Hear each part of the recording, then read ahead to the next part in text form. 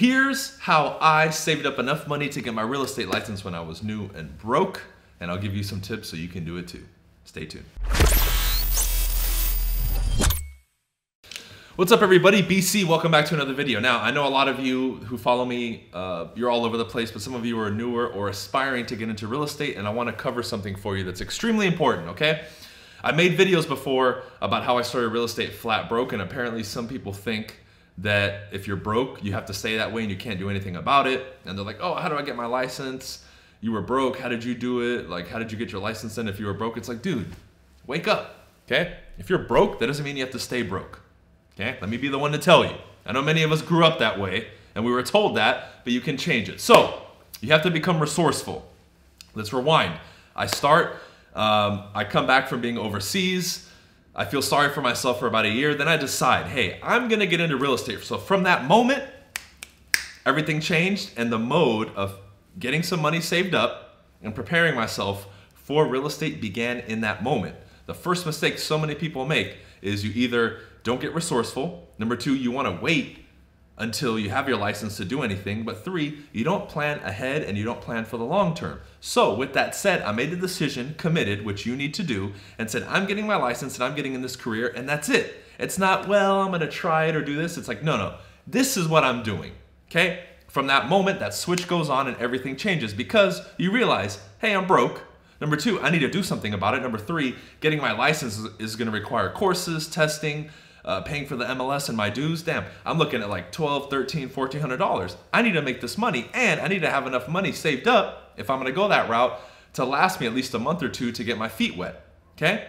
So my whole plan and strategy started from there. Now, I'm somebody probably like most people watching. I wasn't an entrepreneur before. I didn't have any, uh, you know, special privileges. I didn't know anybody. I didn't get any special gifts or donations when I started. I was being told the opposite. You're crazy. Why are you getting into real estate? Get a regular job, get a real job, wake up, you're a dumbass, all that stuff. Okay, now I'm saying a lot of this in the beginning because I know many of you can relate to it. Okay, so what did I do? Now, a lot of people think, well, if I need to make money, I need to get a job. That's just the way we're brought up. You forget that there's many other things, especially now in 2019, and some of those things I didn't have back in 2012 when I decided to get my license. Okay? Remember, you need to plan ahead. So, with that said, I didn't get a regular job. I started saying, how can I maybe get a hustle or find something that's gonna pay me more? I can't do this nine, ten dollar an hour shit. Okay? Now I'm not above it, or Craigslist or anything else, which are some suggestions that I'm gonna give you. However, that's not the only option, and I want you to realize that. You do not have to just get a job. Okay? If you are working a job, you have other options as well, but I want you to open up your mind for a second. Okay? So I started going on Craigslist. Now I found these jobs, these odd end jobs called being a brand amb- ambassador. Brand ambassador, yeah, that's how it is. Brand ambassador, where you would uh, be an independent contractor and you would be contracted by these companies to represent certain brands at events. And I started doing that, okay? Now, long story short, I went on Craigslist and I never said I'm too good to go on Craigslist, okay? And you can't say that either. I went on Craigslist and I started emailing and finding. Now, I emailed and called. I didn't just email. I emailed and called, and if they had a local office, I'd go in person to probably dozens and dozens of these companies, and I maybe got contacted back and offered by I think two or three. So there was at least three to four dozen attempts, 36 to 48 attempts. Email, multiple email attempts, phone calls, whatever to reach to them. Facebook, whatever outlet, messaging them through Craigslist, I did that. And I went in person and I phone called, remember. And maybe I don't know, 10% of them replied back and offered me work. Now, the beauty in this work is even though it's not consistent, at that time, and I still think now you get paid 20, 25, 30 bucks an hour. Now, some of them got paid more, which I'll cover later.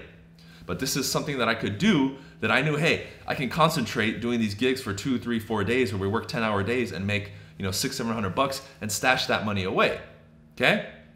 Another thing that I knew other people were doing, I didn't do myself, but they were buying low and selling high. They were buying shoes and odd end things, and uh, they would put them back on Craigslist and sell them for a profit. I knew people that were flipping cars. They were buying cars for three, four hundred bucks, flipping them for 800, 900, and then just working their way up. Those are just some basic ideas that you can use to uh, make some money, get your feet wet, and get that scratch ready. Okay, now with that said, that's more than enough for you to already get your mind going. Okay, Now, that brand ambassador job, I know you can still find them because I still get the emails, and people that I know still get the emails. And I know people that I did it with back then that are still doing it. So it's still happening. Okay? I don't care who you are, where you're from, you can do it. Now, obviously, if you speak different languages or you have certain uh, skill sets that other people don't have, as far as maybe if there's a show and they have to do certain demonstrations or you have experience with cars or whatever it is, you're gonna have more opportunities right? Or if you're a female, male, some of them are only female, some of them are only male. So you're gonna have to do your research, be patient, and reach out to them and be proactive about it. If you res- if you send them a message and they don't answer, say, hey, what's the status? Be proactive, okay? Don't just email. So I did that, and what I started doing, and this is the second step, is you need to be smart with your money, okay? Because I got a couple of these gigs right away, and then guess what? At that first gig that I did well, I started getting recommended to other ones because I worked my ass off and did very well. I showed up and said, This is the tryout for me to do well in real estate. So even though this is only a stepping stone to get to where I want to get, I need to outperform everybody, work hard, and to whoever's in charge for them to look at me and say, Man, this person's a stand up worker. Why? Because that's going to carry over into real estate. Okay? How you do anything is how you do everything.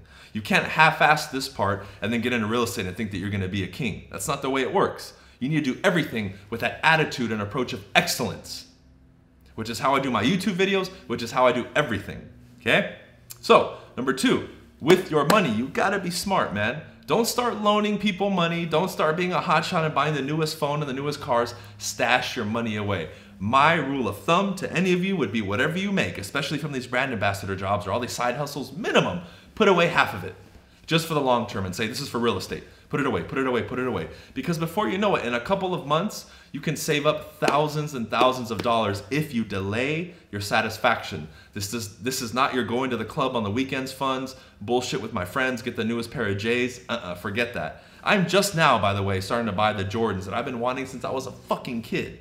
You know why? Because I waited, and now's the time, because I have the money and I can buy it and it doesn't do anything. It's a drop in the fucking bucket in comparison to what I'm making now. But do you know how difficult it was for me to wait until now to buy these Jordans when I've been wanting them since I was fucking 10 years old or younger? That's discipline. That's doing things right. You have to delay your gratification. Okay?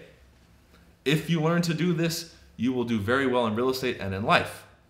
So, number one, get these side hustles. Number two, be very, very smart with your money. And number three, you need to budget and take a look at what it's gonna cost you. This is why I've been recommending to people go online, get your real estate license online. In classes, it's gonna take you longer and it's gonna cost you more. We've teamed up with Real Estate Express. Check the link below. Do their courses online, okay?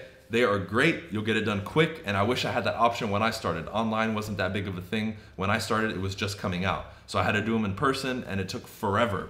So you can trim months off of this stuff. Okay, in the meantime, you can watch my videos and do other stuff to get ahead of the game and learn, but that's separate.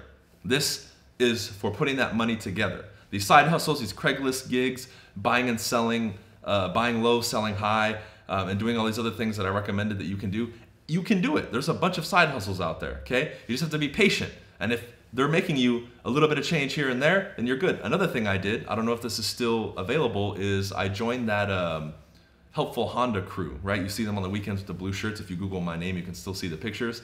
I was doing that on the weekends too, and that was paying 25, 30 bucks an hour, and it was three or four hours Saturday and Sunday. So that was an extra, you know, two, three, four hundred bucks or whatever I was making every weekend that I'd put away, and I'd put away, and I'd put away, and I'd put away. This is how you win the game, ladies and gentlemen. It's not that complicated.